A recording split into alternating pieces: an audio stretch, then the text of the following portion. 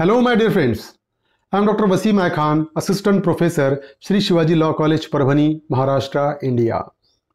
So, in this particular lecture, we will discuss another definition of Bharatiya Saksh Adhiniyam 2023, that is a definition of may presume, shall presume, and conclusive proof. So, this definition we will discuss in this particular lecture. So, let's start the topic. Definition of may presume, shall presume, and conclusive proof. So what exactly the definition of may presume is there? Section 2H of Bharatiya Saksh Adhiniyam 2023 defines the term may presume. What exactly that term includes? May presume.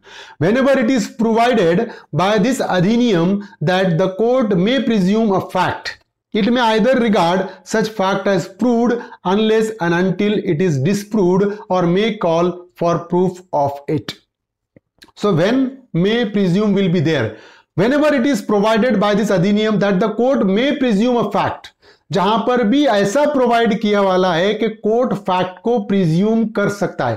Court में presume a fact it may either regard अब उसको कैसा माना जाएगा? It may either regard such fact as proved उस, वो जो fact को वो प्रिज्यूम कर रहा है तो ऐसा माना जाएगा कि वो फैक्ट प्रूव हो गया। Unless and until it is disproved कब तक? Unless and until it disprove for example आधा फैक्ट है, और अगर एक्ट में, किसी एक्ट में ऐसा आया है कि कोर्ट में प्रिज्यूम कि ये फैक्ट है, ऐसा कोर्ट प्रिज्यूम कर सकता है तो क्या माना जाएगा? कोर्ट प्रिज्यूम करेगा कि हाँ ये फैक्ट है। फॉर एग्ज़ाम्पल ऑफेंस हुआ जब अक्यूज वहाँ पर था। अगर ये मे प्रिज्यूम है तो कोर्ट मानेगा हाँ वो वहाँ पर था। Until it is disproved unless and until it is disproved अब मैं बोल रहा हूँ, कोर्ट ये बोल रहा है कि जब ऑफेंस हुआ अक्यूज वहाँ पर था। कोर्ट में प्रिज्यूम तो कोर्ट ने तो मान लिया कि अक्यूज वहाँ पर था। Unless and until it is disproved अब वो डिस्प्रूव कौन करेगा? अक्यूज खुद डिस्प्रूव करेगा। अक्यूज के पास अगर कोई एविडेंस है कि वो वहाँ पर नहीं था तो वो एविडेंस कोर्ट में पेश करेगा। और वो जो प्रिज्यूमशन लिया था कोर्ट ने, उसको रिबर्ट कर सकता है, उसको डिस्कार्ड कर सकता है डिस्प्रूव कर सकता है। और may call for proof of it जहाँ पर भी मे प्रिज्यूम का वर्ड यूज़ होगा, जहाँ पर भी कोर्ट में प्रिज्यूम ऐसा वर्ड यूज़ होगा तो कोर्ट उस फैक्ट को प्रिजम्पशन भी ले सकता है। कोर्ट बोल सकता है कि हाँ, ऐसा है। या कोर्ट ये भी कर सकता है कोर्ट बोल सकता है कि ठीक है, कोई बात नहीं, आप इससे रिलेटेड कोई एविडेंस लो। मतलब कोर्ट प्रिजम्पशन ले भी सकता है और नहीं भी ले सकता है। अगर ऐसा है कोर्ट का डिस्क्रिप्शन है कोर्ट में प्रिज्यूम और मे नॉट अगर ऐसा कंसेप्ट है कोर्ट प्रिजम्पशन ले भी सकता है और नहीं भी ले सकता है, वो मे प्रिज्यूम है। समझ रहे हो?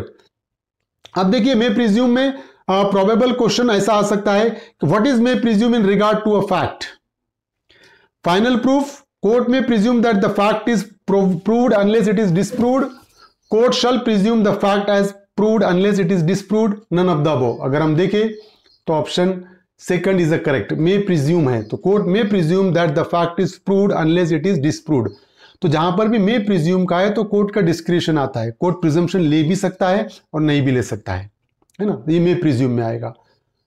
और एक क्वेश्चन है विच सेक्शन ऑफ़ द भारतीय साक्ष्य अधिनियम define the term may presume section two H तो option three is a correct answer अब शल प्रिज्यूम क्या होगा? Shall presume whenever it is directed by this adhiniyam that the court shall presume a fact. It shall regard such fact as proved unless and until it is disproved अब जहाँ पर भी shall presume का word use किया जाएगा court को presumption लेना ही पड़ेगा कोर्ट का डिस्क्रिप्शन नहीं रहेगा। है ना?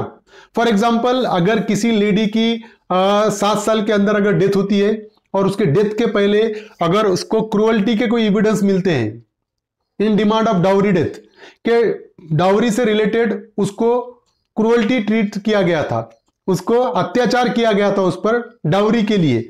और उसकी डेथ हो जाती है अननेचुरल सर्कमस्टांसेस में सात साल के अंदर उसकी डेथ होती है तो court shall presume that her husband and in laws has committed the offence of dowry death court presumption क्या ले, लेगा कि उसके हस्बैंड ने और उसके इन लॉज ने ही उसको डाउरी डेथ कॉज किया है।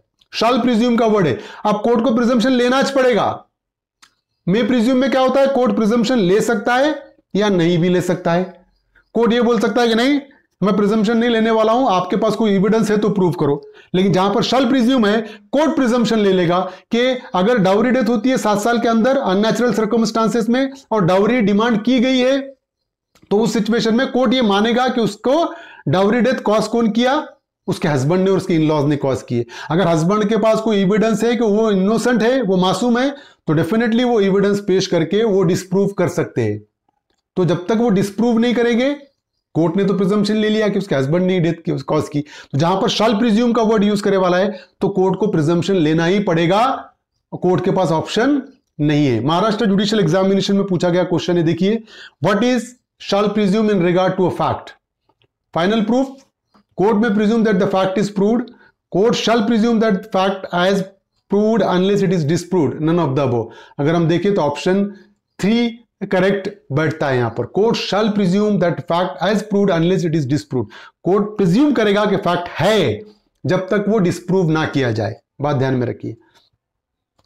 और एक क्वेश्चन है when legal action provides that court shall presume a fact it is irrebuttable presumption permissive और discretionary presumption rebuttable presumption conclusive proof of the fact rebuttable presumption है। Court ने अगर presumption ले भी लिया तो रिबट हो सकता है।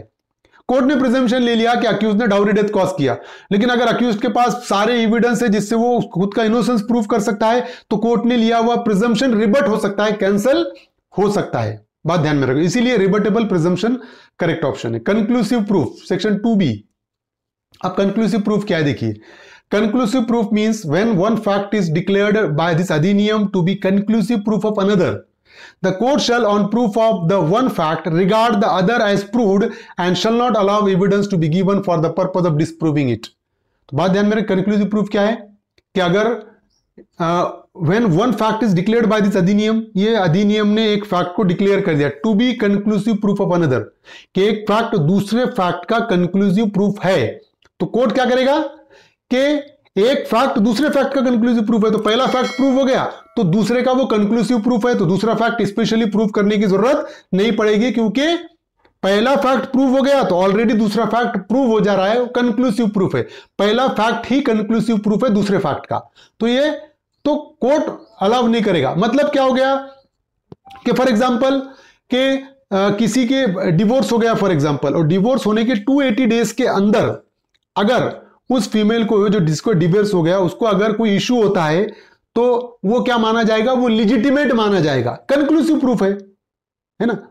या birth during marriage is a conclusive proof of legitimacy अगर दो पर्सन की मैरिज एग्जिस्टेंस में है हस्बैंड एंड वाइफ है, दोनों की मैरिज एग्जिस्टेंस में है, अभी भी डिवोर्स वगैरह कुछ भी नहीं हुआ, और वो मैरिज एग्जिस्टेंस में रहते हुए अगर कोई इशू होता है तो वो लिजिटिमेट माना जाएगा। उसकी लिजिटिमेसी अलग से प्रूफ करने की ज़रूरत नहीं है। तो birth during marriage is a conclusive proof of legitimacy of that particular child तो that is called a conclusive proof तो एक फैक्ट प्रूफ हो गया कि बर्थ ड्यूरिंग मैरिज है तो वो लिजिटिमेट ही माना जाएगा कंक्लूसिव प्रूफ है। उसकी लिजिटिमेसी अलग से प्रूफ करने की ज़रूरत नहीं पड़ेगी। That is called a conclusive proof तो this is the definition of may presume shall presume and conclusive proof which we have discussed उम्मीद करता हूँ कि आपको समझ में आ गया होगा। समझ में आया तो मेरे चैनल को सब्सक्राइब कीजिए और इस लेक्चर को ज़्यादा से ज़्यादा स्टूडेंट तक शेयर कीजिए। Thank you thank you very much